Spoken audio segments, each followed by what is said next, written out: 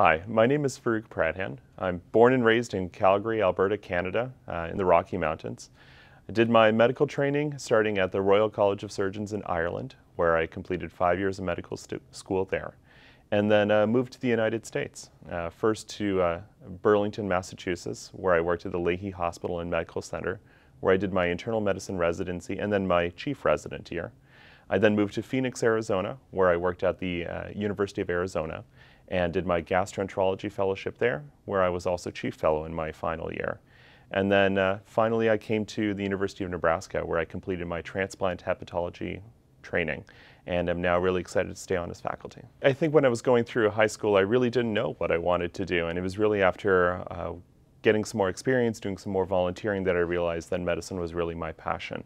And after I started med school and trying to determine what specialty I wanted to do, it was really through going through the rotations that I realized that GI and liver really was my calling. I think specializing liver medicine, it's a, it's a really unique and fascinating field. So I see patients with both acute liver disease and chronic liver disease. And whether transplant is a part of that equation or not, we are still fully involved and vested in our patients.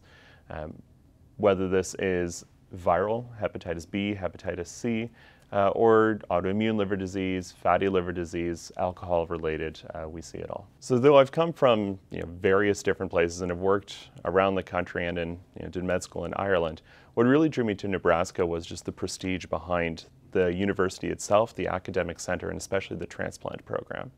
Uh, over the past year where I completed my transplant hepatology fellowship, uh, I've really gotten a fantastic education here and a lot of excellent hands-on experience. And I think the interplay between the hepatologists here and our surgeons is really what makes this place an asset.